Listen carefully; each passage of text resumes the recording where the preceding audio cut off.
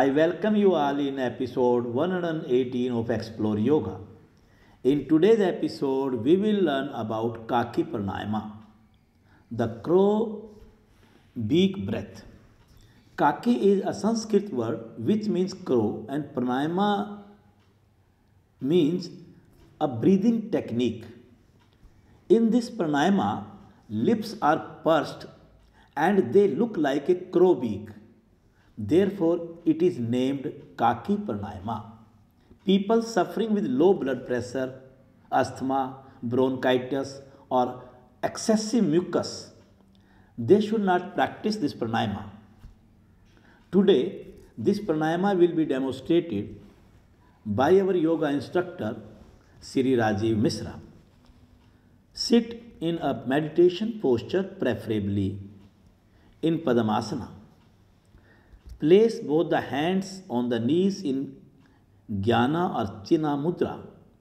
Straighten your spine, neck, and head in one line. Close your eyes gently. Purse the lips like a crow beak. Now inhale slowly and deeply through the mouth.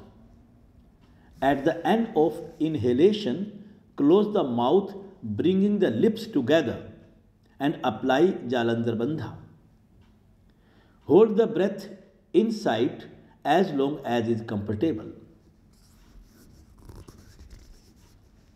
release Jalandhar bandha exhale through the nostril slowly at the end of exhalation release Mool bandha this is one round repeat five rounds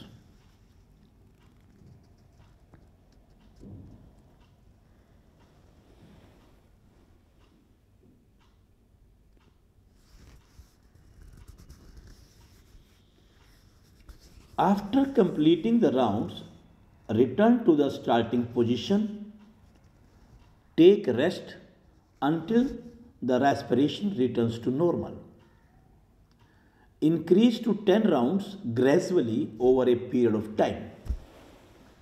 Concentrate or bring your awareness while you are practicing on inhalation, retention, exhalation, and counts of breath. Spiritually, a sadhaka can bring his awareness on Anahata Chakra Kaki Pranayama is a cooling yogic breathing practice.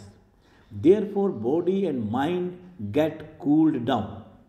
High blood pressure and Pitta dosha are cured. This pranayama helps in curing diseases like skin disease, herpes, jaundice, and inflammation of spleen. Today, we have learned about Kaki Pranayama. In the next episode, we will learn more new about pranayamas.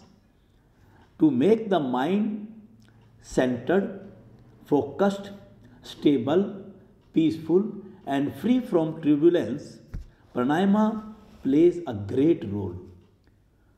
Through the practice of pranayama, mind is derived towards the insight. So, mind becomes joyful and relaxed. Therefore, practice pranayama regularly to live peaceful and joyful life. Subscribe this channel to get deep knowledge about yoga and be the part of this noble work. Have a nice day. Thank you very much.